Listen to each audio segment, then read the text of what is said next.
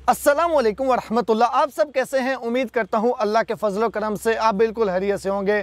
आप मेरे चैनल पे मेरी वीडियोस तो देख रहे होंगे काफ़ी अरसा से, और आपके माइंड में ये ख्याल भी आ रहा होगा कि यार इसका जो चैनल है, Hela M T M box, इसका मतलब क्या है? और दूसरे नंबर पे जो मेरे चैनल का लोगो है, उस लोगो का मतलब क्या है? मेरे चैनल का लोगो क्या है, वो आपको यहाँ पे पीछे भी नज़र आ रहा होगा। मेरा क्या लोगो है? अब इसकी डिटेल, इसकी तफसील भी मैं आपको बताता हूँ। और उसके अलावा मेरे चैनल का जो नेम है, हेला, उसका मुकम्मल मतलब क्या है? क्यों इस वजह से मैं, किस वजह से मैंने इसका नाम हेला रखा? वो भी मैं आपको तफसील से बताता हूँ। सबसे पहले Hela M T M box Hela का मतलब है, गाँव का नाम है मेरा मेरा जो गाँव है, इसका नाम हेला है। हेला की हिस्ट्री क्या है, हेला नाम क्यों पड़ा, वो भी आपको बताता हूँ। और दूसरे नंबर पे आगे M T M M T M का मतलब मोहम्मद तैयब महमूद है। और उसके बाद बॉक्स एक ऐसा बॉक्स यानी कि बॉक्स मैंने इसलिए रखा कि एक ऐसा इंफॉर्मेशन बॉक्स जिसके अंदर जितने भी ओवरसीज पाकिस्तानियों के सोल्यूशन हैं, उनकी जो प्रॉब्लम्स हैं, उनके सोल्यूशन आपको एक प्लेटफॉर्म से मिल जाए। तो इस वजह से हेला का नेम मैं अपने गाँव से बहुत ज़्यादा प्यार करता हूँ। ज़ाहिर सी बात है, कोई भी शख्स, कोई भी बंदा है वो अपने गाँव पे जहाँ पे वो पैदा हुआ, जहाँ पे वो पला बड़ा बड़ा हुआ, उस जगह से बहुत प्यार करता है। तो इसी वजह से मैंने अपने नाम, मेरे चैनल का नेम भी अपने गाँव से रखा, अपने गाँव के हिसाब से, और दूसरे नंबर पे मेरे जो चैनल का लोगो है, वो भी आप इस टाइम यहाँ पे पीछे देख रहे हैं। मैं इसका मुकम्मल विज़िट भी आपको करवाता हूँ, और इसकी जो हिस्ट्री है, वो भी आपको बताता हूँ। अब सबसे पहले मैं आपको बताता हूँ कि हेला जो है, इसकी हिस्ट्री यानी कि सिंपल वर्ड्स में ये हेला नाम क्यों पड़ा? दो रवायात हैं। एक रवायत के मुताबिक, इस इलाके का जो राजा था, उसका नाम राजा हिल था, जिसकी वजह से, यानी कि जिसकी मुनासबत से, इस गाँव का नाम, यानी कि वो हिल था, हिल से बनता बनता आगे ये हेला हो गया। और दूसरी रवायत जो इससे थोड़ी सी मज़बूत है, वो ये कि जो मोंग का मुकाम है, मंडी बहावलदीन का ये गाँव है, मंडी बहावलदीन का तहसील फालिया में ये हेला आता है। तो मंडी बहावलदीन के साथ एक और गाँव है जिसका नाम है मोंग। मोंग के मुकाम पे जो सिकंदर आज़म है, उसकी लड़ाई राजा पोरस से हुई। तो वो लड़ाई करते करते जब इस मुकाम पे पहुँचे तो जो सिकंदर आज़म है, उसकी जो वाइफ है, उसकी जो बेबी है उसका नाम था हेलन। तो उसकी इस मुकाम पे यानी कि ये हेलन के मुकाम पे उसकी वफात हुई। तो उसकी मुनासबत से फिर ये हेलन से यानी कि उसका नाम हेलन था तो वो हेलन से फिर बनता बनता आ गया यानी कि बेसिक नाम हेलन है तो फिर इसको चेंज करके अभी जो है जो है ये हेला हो गया। तो ये दूसरी रवायत है ये दूसरी रवायत जो है ये ज़्यादा थोड़ी मशहूर है कि ये हेलन शहजादी थी जिसकी मुनासबत से हेला नाम पड़ा। अब दूसरे नंबर पे बा, बात आ जाती है जी इस ये जो आपका पीछे मकबरा नज़र आ रहा है ये मकबरा किसका है? पहली बात कि मैंने क्यों इसको अपना लोगो बनाया? हर कोई कोई भी बंदा है, वो अपनी पहचान, यानी कि एक लोगो जो होता है, उस चैनल का या कोई भी ब्रांड है, उसका एक स्टैंडर्ड होता है। तो मैंने अपना लोगो जो है, वो अपना जो गाँव है, उसका जो मशहूर जगह है उसकी मुनासबत से जो है मैंने अपने चैनल का लोगो बनाया। मेरे चैनल का नेम आपको समझ आ गई। अब दूसरे नंबर पे मेरे जो चैनल का लोगो है, वो ये पीछे आपको मकबरा नज़र आ रहा है। यानी कि इस वजह से हमारा गाँव भी काफ़ी ज़्यादा मशहूर है। यहाँ पे इस मकबरे का अब इस मकबरे की हिस्ट्री क्या है, मैं आपको वो बताता हूँ। इस इलाके का जो हुक्मरान था, जिसका नाम राजा हेल था उससे सल्तनत छीनने के लिए मुगलिया हुकूमत का जो सिपा सालार था, जिसका नाम था राजा शेख अली बेग। और राजा शेख अली बेग जब इस मुकाम पे पहुँचे, यानी कि यहाँ पे आए, जंग हुई तो जंग के दौरान वो शहीद हो गए।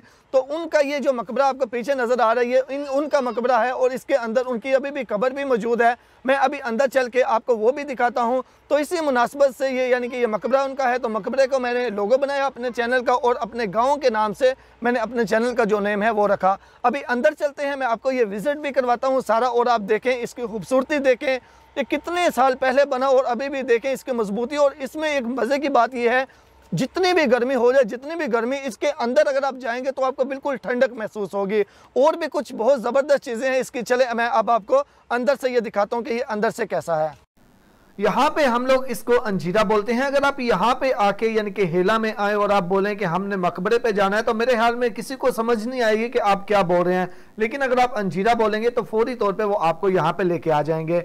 यहाँ पे ये हस्ता हाली का शिकार था, बिल्कुल वैरान हो चुका था, लेकिन अभी एक करोड़ की ग्रांट आई है तो यहाँ पे कुछ कंस्ट्रक्शन का काम जो है, ये अभी चल रहा है। जैसा कि आप सबको मालूम है कि हमारे जितने भी तारीखी मकाम हैं, उनका क्या हाल होता है, बिल्कुल वैरान हो जाते हैं, बिल्कुल इसी तरह।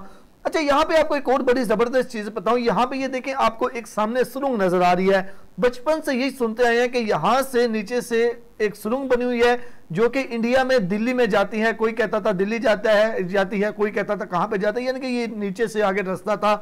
लेकिन इसकी हकीकत कुछ इस तरह है, ये इस तरह के जितने भी हैं, ये सारी अफवाहें हैं कि यहाँ से नीचे घोड़ों में छुप के जाते थे, सुरंगें बनी हुई हैं। इस तरह की कोई भी हकीकत नहीं है। बेसिकली ये है क्या? यहाँ पे नीचे एक बेसमेंट है।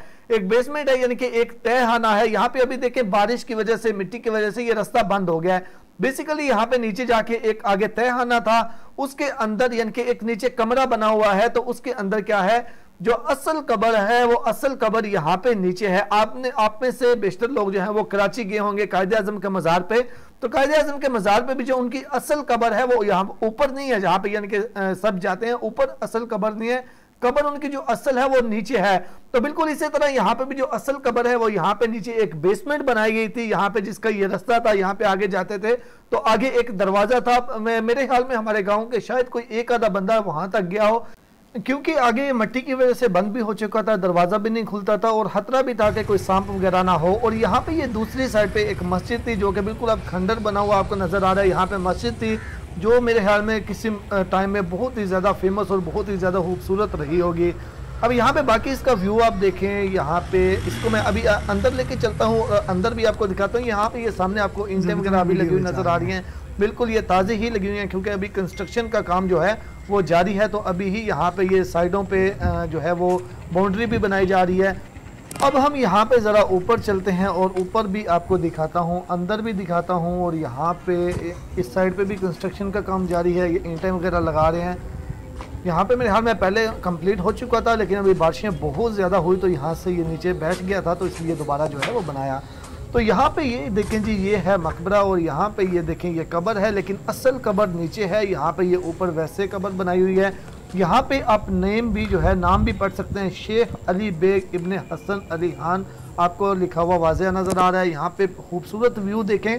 आप इसकी दीवारों की चौड़ाई देखें। एक नॉर्मल दीवार से तकरीबन डबल से भी ज़्यादा है और हाइट छत की हाइट भी बहुत ज़्यादा ऊपर है। शायद यही वजह है कि यहाँ पे अंदर बहुत ज़्यादा ठंडक महसूस होती है और ये एक हवादार जगह है। यानी कि सारी साइडों पे हवा की क्रॉसिंग इतनी ज़बरदस्त होती है कि बहुत ही ठंडक महसूस होती है। उसके ऊपर जाने के लिए ये वाला रास्ता है, बहुत ही तंग सीढ़ियाँ हैं, बड़ी मुश्किल से बंदा ऊपर जाता है।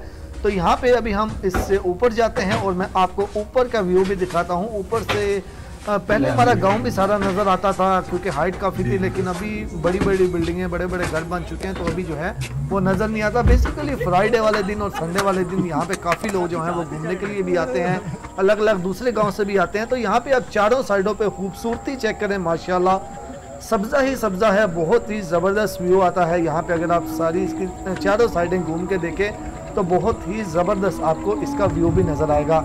इससे ऊपर जो है वो भी हम जा सकते हैं, लेकिन थोड़ा मुश्किल है। मैं अभी इससे ऊपर भी जाके आपको दिखाता हूँ। तो यहाँ पे अभी हम इसके बिल्कुल ऊपर आ चुके हैं। ये देखें, बिल्कुल ऊपर से ये इस तरह है, बिल्कुल सिंपल, यानी यहाँ पे आप बिल्कुल टॉप से देखें चारों साइड का व्यू। यहाँ पे बिल्कुल सामने जो आपको वो सिटी नज़र आ रहा है, वो हेला है, हमारा गाँव है, हेला है। अभी तो बाहर काफ़ी ज़्यादा बड़ा हो चुका है, माशाल्लाह। तो यहाँ पे देखें जी, इसकी चारों साइडों पे खूबसूरती देखें आप। अब यहाँ से जैसे ऊपर आना भी काफ़ी ज़्यादा मुश्किल है, इसी तरह यहाँ से नीचे जाना भी काफ़ी ज़्यादा मुश्किल है, क्योंकि प्रॉपर तरीके से कोई सीढ़ियाँ वगैरह नहीं बनी हुई। ऐसे ही आपको कहीं ना कहीं पे पाँव रख के, पाँव को फंसा के नीचे उतरना होता है, ऊपर भी आना काफ़ी ज़्यादा मुश्किल है।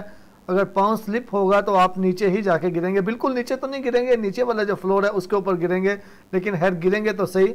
तो यहाँ पे अभी मैं नीचे उतर जाता हूँ और नीचे उतर के मेरे ख्याल में आपको ये जगह काफ़ी ज़्यादा पसंद आई होगी। अगर आप विज़िट करना चाहें तो आप यहाँ पे एक बार ज़रूर आइएगा। तो यहाँ से अब हम ज़रा नीचे उतर जाते हैं। यहाँ पे देखें, ये आपको खड्डे से बने हुए नज़र आ रहे हैं, जिनके अंदर पाँव रख के बहुत ही ज़्यादा मुश्किल से नीचे उतरना होता है। ये व्यू है इसका टॉप का, इसके ऊपर हम चढ़े हुए थे। तो अभी यहाँ से हम नीचे उतर गए हैं। अभी हम चलते हैं घर। अल्लाह हाफिज़।